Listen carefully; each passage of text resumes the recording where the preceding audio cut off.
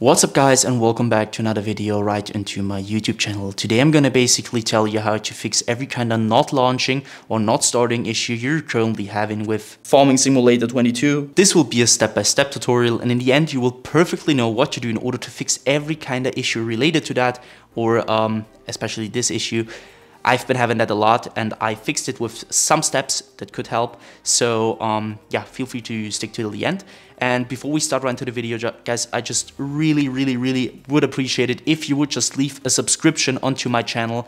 It will take you just, it take you just a little, just some seconds, and it will really just mean the world to me. So um, it won't cost you anything. For me, it's the world. So just um, yeah, be kind and subscribe. And uh, without further ado, I will just say let's start right into the video. So the first thing I want you to do, if you have any kind of uh, not launching or starting issues with your game uh, is going to be to take your uh, launcher shortcut on your desktop if you have one. So for me, it's Steam. I'm going to take Steam. I'm going to drag it uh, right into the middle of your monitor. I want you to uh, take your mouse. You obviously take your mouse and you're going to right click it. So once you've right clicked it, um, I want you to go down to the very bottom where it says uh, properties. But before you're to do that, you can try to click on to run it as an administrator. This will start your launcher over the administrator mode. And I want you to basically try if you're, uh, if you're launching your game through the launcher in administrator mode, if it works. So other thing, go back to the properties tab, click onto that. This tab will pop up. I want you to click onto compatibility. So click on that one.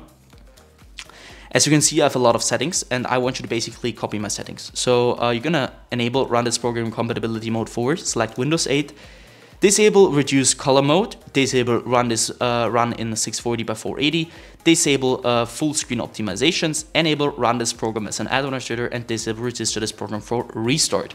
Afterwards, I want you to click apply and OK. So I already did that, so I can do that. I want you afterwards to restart your PC and then you will see this little um, administrator symbol right onto your launcher shortcut. And uh, what it will do is like you will start every time you're starting your launcher, will start in administrator mode. And this will help you a lot with every kind of issue currently having, especially if not launching issues. And you will start your game over the launcher and this will probably fix it.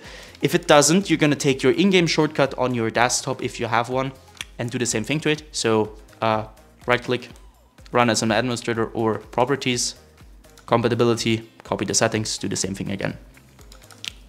So the next thing I want you to do is going to be to uh, navigate to the bottom of your screen where you can see your taskbar. Perhaps you have it there, I don't know. Uh, I have it at the bottom, so you're going to right click it. And uh, you can see there's Task Manager, I want you to click on that. Wait a little bit until it opens up.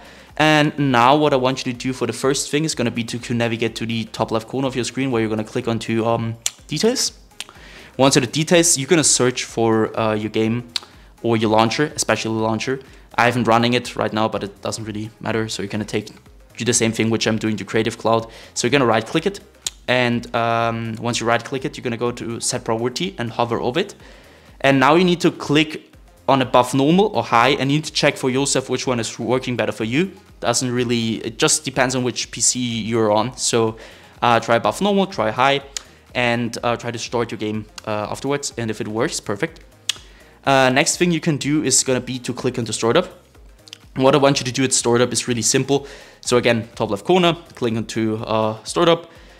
As you can see, I have a lot of lot of applications disabled just because my PC isn't the best. It's a low-end PC, so it's old um, it tends to have low FPS, low, um, it's like a lot crashing, a lot not launching, and you want to uh, have less applications running in the background, obviously because it takes a lot of GPU, CPU usage. So what I want you to do is going to be to disable every single program which you're not wanting to store it uh, in the background when you start your PC. So basically everything besides Windows things or Apple things. Um, so you're gonna uh, right click something which is enabled and you're gonna disable it simply like that.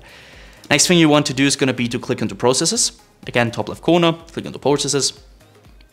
And now as you can see, there are two things. First, applications and background processes. And now there's CPU and GPU. What I want you to do is here is really simple. I want you to click on the GPU at first.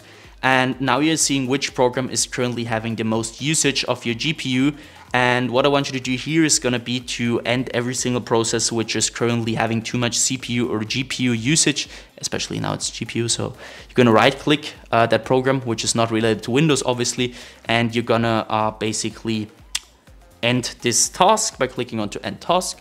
Next thing is going to be to click onto CPU and do the same thing again. So search for programs which are currently having too much CPU usage. You're going to right click and end this task. Uh, once you're finished here, I want you to basically end the task manager again. Afterwards, you're going to navigate to the bottom left corner of your screen where you're going to click onto um, your Windows symbol or click your Windows key on your keyboard. You're going to open up your settings. Afterwards, I want you to um, basically go to gaming once you're gaming, I want you to turn off the Xbox Game Bar. Obviously, because you don't want anything to run in the background, especially Xbox Game Bar.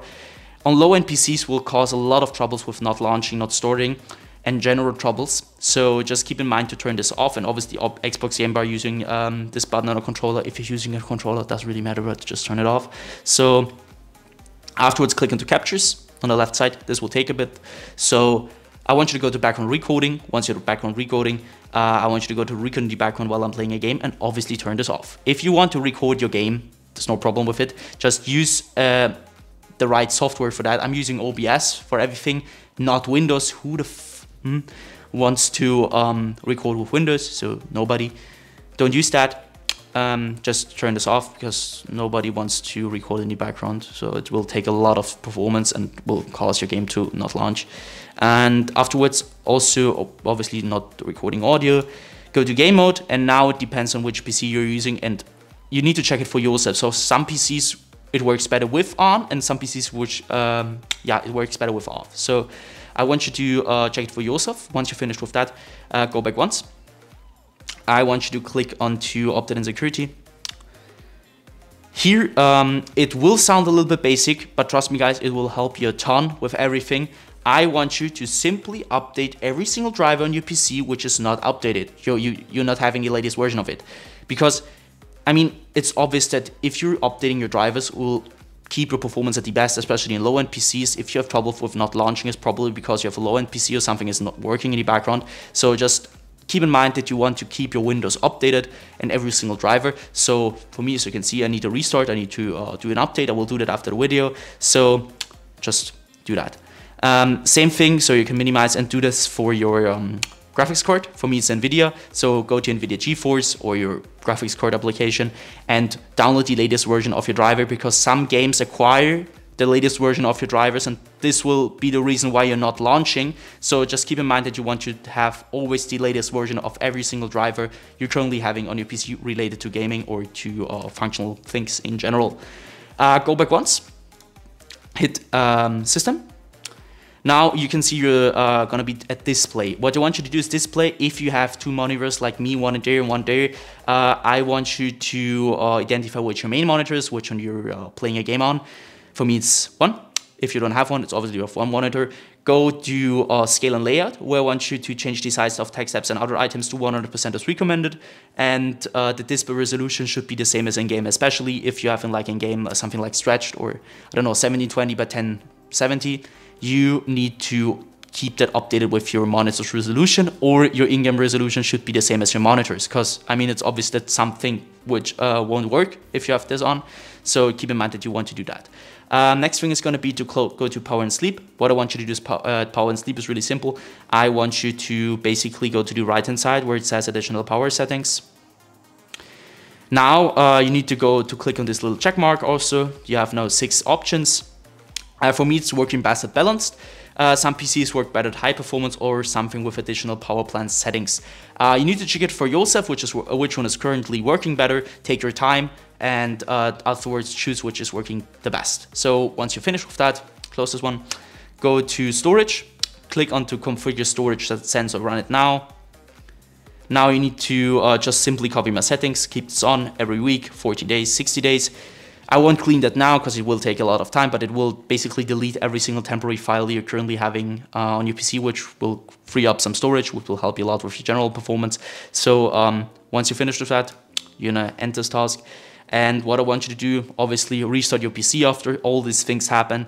Um, and restart it, try to launch your game over the launcher or, off, or in your shortcut. And yeah guys, that's it. I hope I could really help you out with this video. If it was like that, just leave a like, a comment or a subscription right into my YouTube channel. It will really help me out. And yeah guys, I hope you have a wonderful day. Feel free to ask anything in the comments and see you at the next one.